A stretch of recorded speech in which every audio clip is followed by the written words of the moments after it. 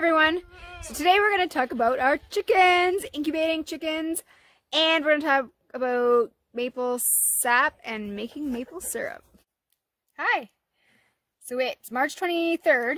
It's about 15 degrees Celsius out. So we are going to see if there's any sap waiting for us at the trees that we tapped. Yeah. And there's probably going to be a lot because yesterday we got a lot and it wasn't as hot as today. So here we go. Let's get some.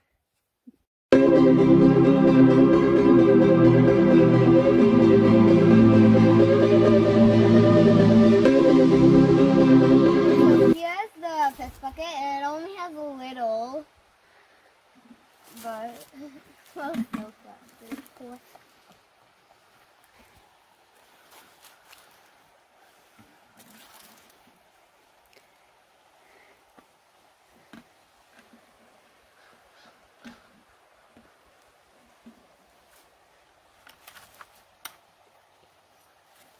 And we have, I don't know, how much more do we have? Eight. Eight more. Oh. This one is empty.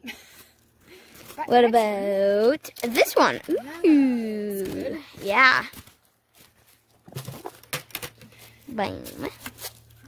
Ooh, it's still dripping. Huh. Ooh, I want to take some sap.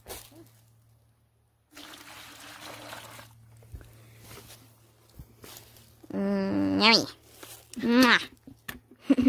right, so how many are we at? Five? Oh, yeah. Okay. And to me, the sap just tastes like water with sugar. Really. To me, that's what it tastes like. Yesterday, um, the buckets were like, well, some of them were like halfway, but now it's, now they're not. Well, from what we've read, for the sap to run, it's supposed to be freezing at night and then above freezing during the day, but last night I don't think it got below freezing. I think it was just a low of minus two. And now today, geez, their temperature gauge said it was plus 17 earlier this afternoon. So I think the sap's just slower. Mm-hmm. Oh, it's still going to get some. Yeah.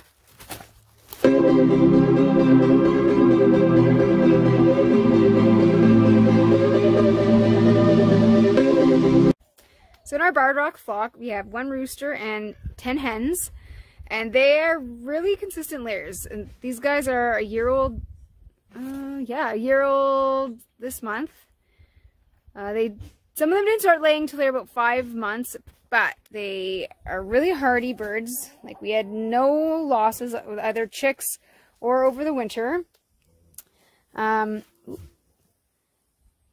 they lay regularly, even through the winter, they're pretty good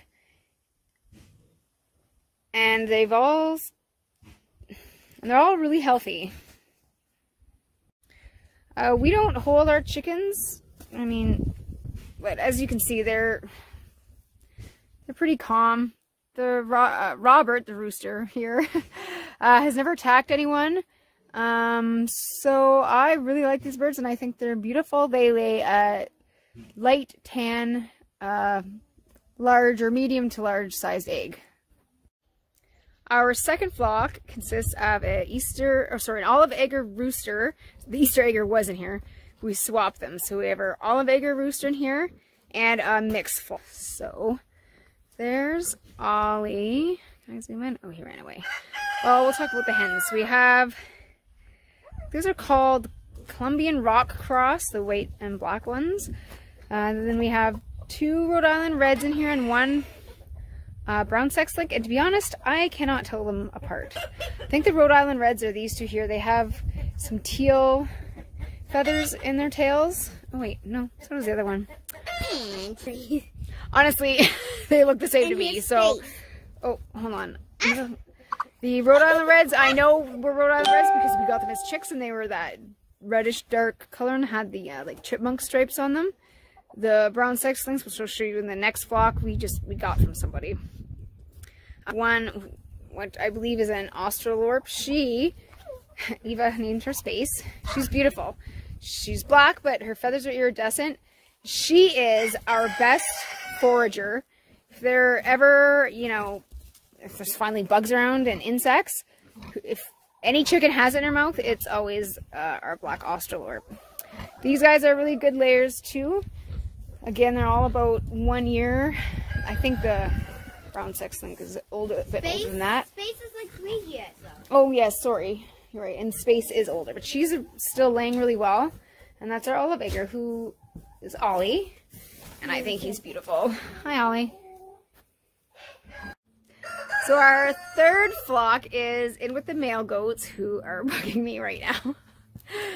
Uh, I don't have anything. Hold on here. There's some some people don't like male goats. I think they're so cute and funny. Anyways, bear, teddy, teddy bear. Oh, get down, get down, get down, get down. I'm sure they'll be a lot less cute if they ever headbutt me. Anyways, so our third flock, we have an Easter egger rooster. So he came out of a tealish blue colored egg. And he is with the brown or red sex links that we got from someone who just wasn't interested in raising chickens anymore. So let's go take these guys. So here's all the red sex links. Hi girls. Hello, hello. And that is Mr. Shiny. He is a beautiful rooster. Um, he is mean. yes, he has attacked me a couple times. And actually, these hens aren't very nice. They pick on each other. So we thought, well, for the mean rooster with the mean chickens. And, uh, I don't know, everyone seems to be happy now. So we have some eggs that were fertilized or hopefully fertilized by him in the incubator now, which leads me to talk about the dun, da, da, da, the incubator. I'm very excited. So I'm gonna get out of here first before I finish this conversation. One sec.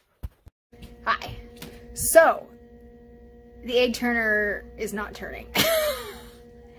yes, I had it in there like while I was warming up the incubator so that, um, that's kind of, I don't know why I was worried about it, but I just thought, okay, we'll see what it actually does. And then I kept looking at it and it looked like it was in the same spot, but the instructions also say not to worry about that because, you know, they move so slowly that the human eye can't see it. So I would just check periodically, oh, there's Maximus, hi, uh, over a couple days, but I was like, is that still in the same spot? But I doubted myself, so I filled it full of eggs, and then again, I kept checking, and I realized no, it has not. The eggs are still the same, you know, angle. They haven't gone to the other side at all, or changed at all. So I took them out, put them in here, um, just on the tray. Um, and then while I was turning them one day, I had someone help me and put an X on one side so that I know that I've actually turned them over um, to the other side.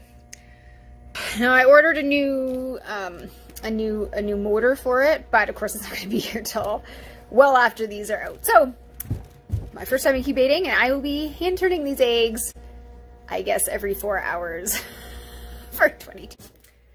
So incubating, I had the incubator running two days before I put the eggs in it because I've never used an egg incubator before.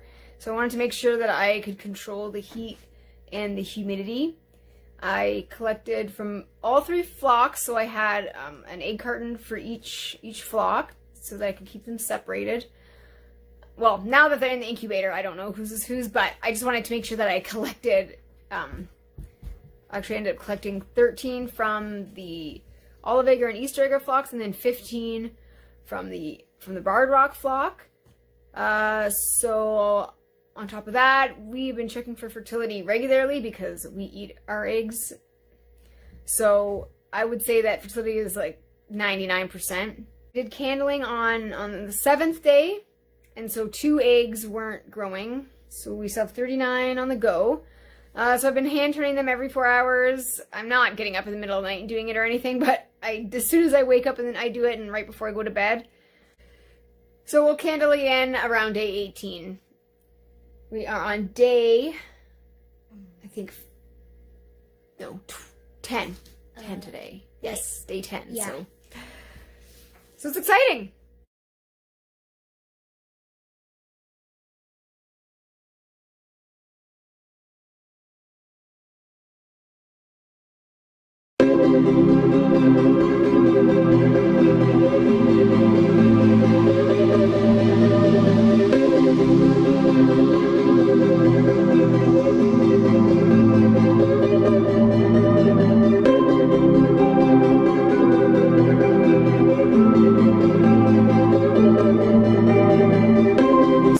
Actually frozen sap that we collected earlier this week and then of course got cold again and we well we were both busy during the week so we didn't have time to boil it down.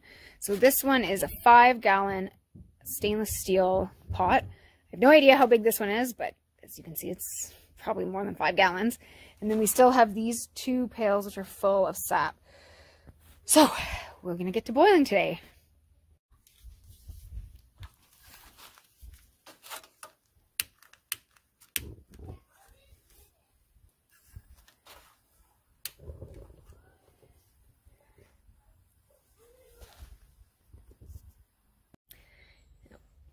And as promised, our end results of our sap boiling real maple syrup. Oh my gosh, it is so good, eh, Eva? Yeah. So we just picked these cool jars up from Home Hardware, so I don't know, makes it look fancy. like we know what we're doing. Anyways, this is a really cool experience. Look forward to doing it again next year. Yeah. one- uh, this is our third one that we filled with these, so that's pretty cool. Yeah. All right. Well, once again, thanks from us at the Harvey Homestead, and thanks for learning with us. Bye.